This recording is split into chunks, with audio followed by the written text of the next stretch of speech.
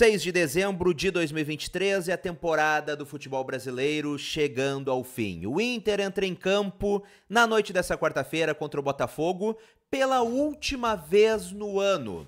E eu tenho visto alguns colorados nas redes sociais fazendo uma movimentação dizendo para o Inter tirar o pé, já que o Inter já garantiu vaga na Sul-Americana, não tem risco de rebaixamento, para dar aquela para dar aquela aliviada para o Botafogo e talvez prejudicar o Grêmio, que assim poderia não entrar diretamente na fase de grupos da Copa Libertadores da América do ano que vem. Mas isso não pode, por alguns motivos importantes, tanto desportivos, que o Inter ainda tem sim nesta última partida, quanto financeiros. Eu quero falar contigo nesse vídeo sobre a importância, sim, da partida contra o Botafogo na noite de hoje. E mais, também quero conversar contigo sobre Alan Patrick e Arangues, dois dos melhores jogadores do Inter nessa temporada e que, naturalmente, devido às boas atuações, tem atraído olhares, tem atraído interesses de outros clubes. Há sondagens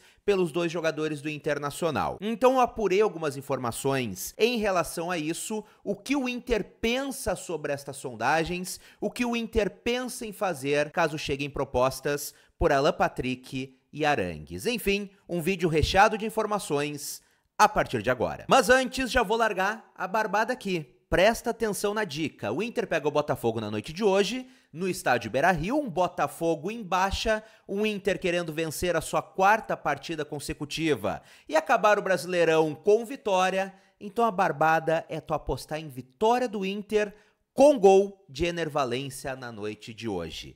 Entra lá na KTO, Cria tua conta se tu ainda não tem usando o cupom LENNON, que aí tu faz teu primeiro depósito e tu ganha 20% de bônus. 20% extra para apostar hoje no jogo do Inter e, é claro, em todos os outros jogos da rodada do Brasileirão. E tem mais. Se tu já tem conta, não quer criar uma nova, a conta tá lá inativa, tu pode ativar ela, fazer um depósito e chamar a KTO no chat, dizendo que tu voltou com o cupom LENNON tu também ganha 20% de bônus. Aproveita a barbada, mas tem que usar o meu cupom por lá. O link tá no comentário fixado desse vídeo. Bom, vamos lá. O Inter então enfrenta o Botafogo na noite de hoje no estádio Beira-Rio em sua última apresentação no ano de 2023. E uma partida que sim, tem aquele tom morno, afinal, o Inter não luta por título, não luta por vaga na Libertadores, já tem vaga garantida na Sul-Americana e não luta contra o rebaixamento. Mas é sim uma partida importante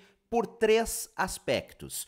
O primeiro deles é porque é a despedida de Johnny, um jogador que se mostrou muito importante nesta temporada, principalmente após o retorno de Eduardo Cudê. A partida de hoje marca a despedida do volante do Internacional. Embora o Inter ainda não tenha anunciado oficialmente, Johnny foi negociado com o Real Betis da Espanha 6 milhões de euros, podendo chegar a 7 milhões de euros com alguns gatilhos. Então hoje ele veste pela última vez a camisa do Internacional, ao menos neste ciclo. Mas tem, obviamente, outros motivos que devem fazer o Inter sim entrar com tudo para esta partida contra o Botafogo, entrar também motivado para esta partida contra o Botafogo.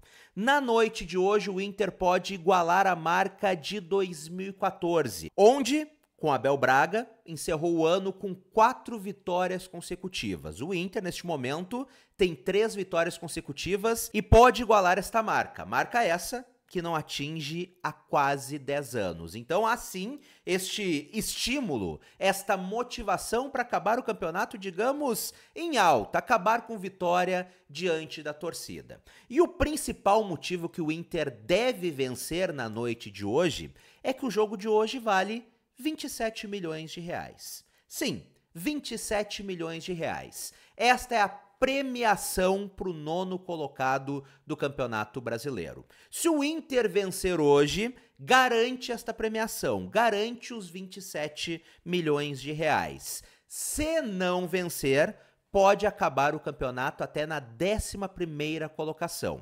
E ao invés de os 27 milhões, vai embolsar 20 milhões de reais. Então há esta diferença de 7 milhões de reais entre o nono colocado e o 11 colocado. Então, acima de qualquer coisa, acima de despedida de Johnny, acima de bater uma marca importante que não, que não alcança quase 10 anos, o jogo de hoje vale dinheiro. Dinheiro importante. Então, sim, embora tenha um tom morno, um tom de partida tranquila, o jogo de hoje à noite vale sim coisas importantes. E agora vamos falar sobre Alan Patrick e Arangues, dois jogadores extremamente valorizados no Internacional, dois dos melhores jogadores do Inter durante toda a temporada. É natural que, devido às boas atuações, eles acabem se valorizando, despertando interesse de outros clubes. E a informação de ontem é de que Mano Menezes pediu Alan Patrick para o Corinthians,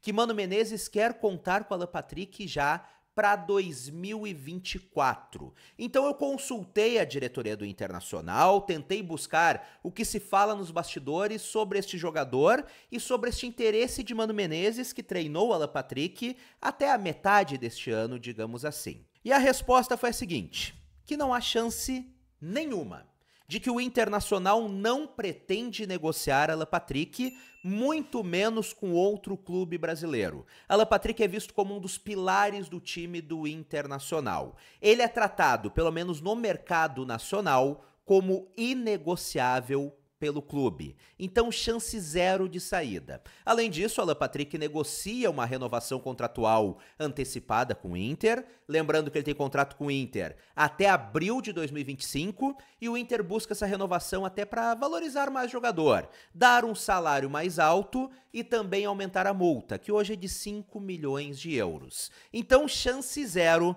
Mano Menezes vai ficar chupando o dedo lá pelo Corinthians. Alan Patrick não vai sair para lá e a tendência é de que não saia para nenhum outro clube brasileiro. E a situação do Arangues é bem parecida. Ele conta neste momento com o interesse de clubes do Chile, do México e da Argentina. O Inter ainda não recebeu proposta oficial, só teve sondagens pelo jogador, ou seja, não há nada oficializado, não há nada de valores na mesa oferecidos ao Internacional, mas Arangues também é visto como imprescindível para a próxima temporada. Ele está nesta mesma barca, digamos assim, do Alan Patrick, como inegociável para a próxima temporada. Claro, inegociável é uma palavra muito forte, né, torcedor? Porque a gente sabe que se vier um valor absurdo, por exemplo, de um futebol árabe, o Inter não vai segurar o jogador. Mas neste momento o Inter não tem interesse nenhum em negociar Arangues. Ele é visto junto com Alan Patrick e Ener Valência como pilar, como um dos pilares para a próxima temporada, para a temporada 2024. Então, sim, é natural, ainda mais em final de temporada, que haja interesses, é natural que tenha sondagens, mas não se preocupa, torcedor do Inter, que o Inter não quer negociar, não pretende negociar e não vai facilitar a saída de nenhum de seus principais jogadores. E antes do término do vídeo, já te convido a comentar aqui embaixo. Para ti, que, que vale essa partida contra o Botafogo? Qual o teu sentimento? Qual o teu palpite para esse jogo? Tu tá nesse time de alguns colorados que querem que o Inter alivie pro Botafogo para talvez prejudicar o Grêmio? Ou o Inter tem que fazer a sua parte? Comenta por aqui e vamos trocar aquela ideia. E se tu ainda não é inscrito no canal, clica aqui embaixo em inscrever-se e ativa as notificações no sininho. Um grande abraço, saudações coloradas, até a próxima e tchau, tchau!